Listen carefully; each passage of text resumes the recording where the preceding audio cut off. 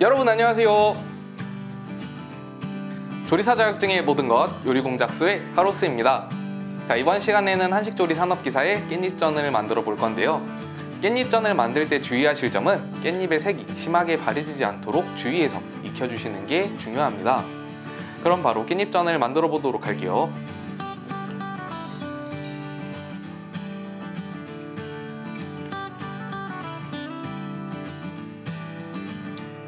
이상의 재료를 이용해서 깻잎전을 만들어 보도록 할게요. 소고기는 지급받으시면 키친타올에 감싸서 핏물을 제거해주세요. 양념에 들어가는 파마늘부터 곱게 다져주세요.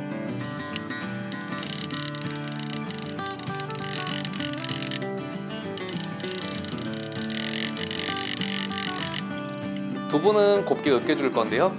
판에 눌린 부분은 제거해주시고 면보로 수분을 먼저 제거해주세요.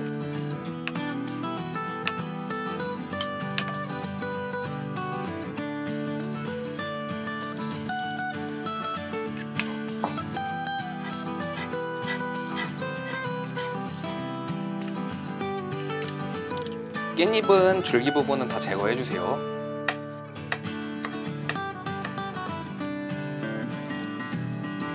소고기는 기름은 제거해주시고 살코기만 곱게 다져주세요.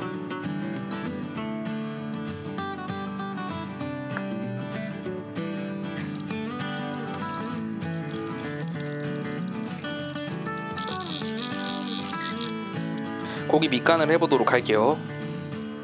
두부는 고기의 3분의 1 정도 비율로 넣어주세요. 여기에 다진 대파마늘 넣어주세요. 소금 3분의 1 작은술 설탕 3분의 1 작은술 깨는 손으로 부셔서 넣어주세요. 고춧가루는 소량 넣어주세요. 마지막으로 참기름 3분의 1 작은술 끈적일 때까지 치대주도록 할게요.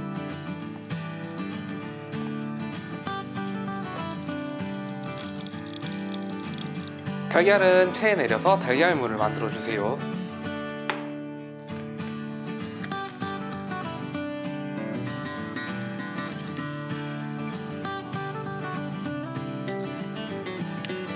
이제 깻잎에 만들어 놓은 고기소를 넣어서 성형 후에 달걀물을 입혀 구워주도록 할게요.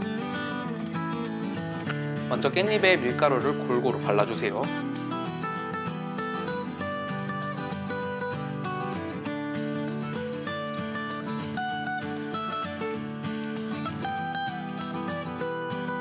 깻잎의 진한 색깔이 밖으로 나갈 수 있도록 접어주세요. 고기를 집어넣을 때는 너무 두껍지 않도록 주의해서 채워주세요.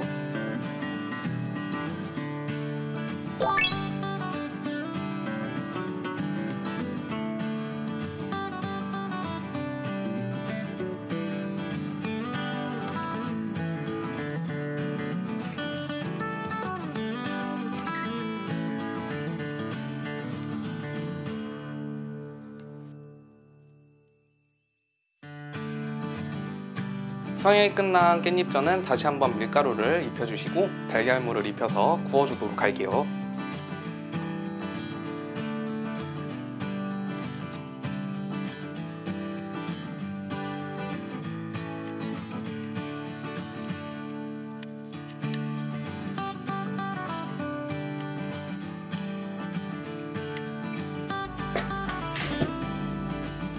불은 최대한 약한 불로 맞춰주시고 식용유로 살짝 코팅해주세요.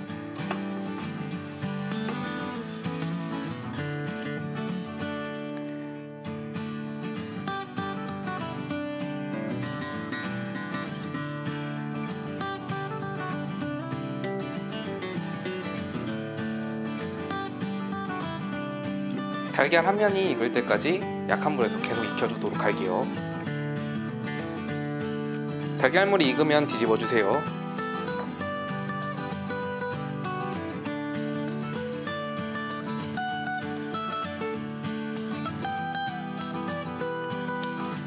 평평해질 수 있도록 키친타올이나 면보를 이용해서 눌러주세요. 누르실 때는 달라붙지 않도록 식용유를 살짝 발라주세요.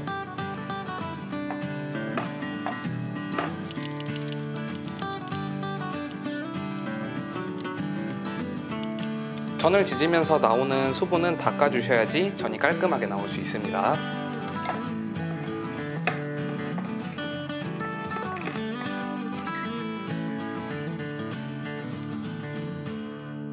이렇게 해서 전이 충분히 익게 되면은 불을 끄고 완성 접시에 담아주도록 할게요.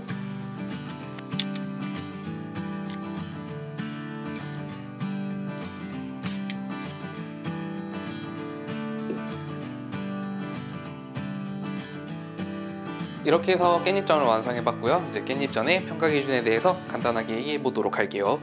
첫 번째, 깻잎전을 구우실 때 심하게 색이 나지 않도록 약한 불에서 천천히 구워주셔야 됩니다. 두 번째, 요구사항에 초간장을 곁들여 제출하라고 나와 있다면 초간장을 반드시 만들어서 곁들여 제출해 주셔야 됩니다. 세 번째, 익혀서 나가야 되는 요리이기 때문에 반드시 익혀서 제출해 주셔야 됩니다.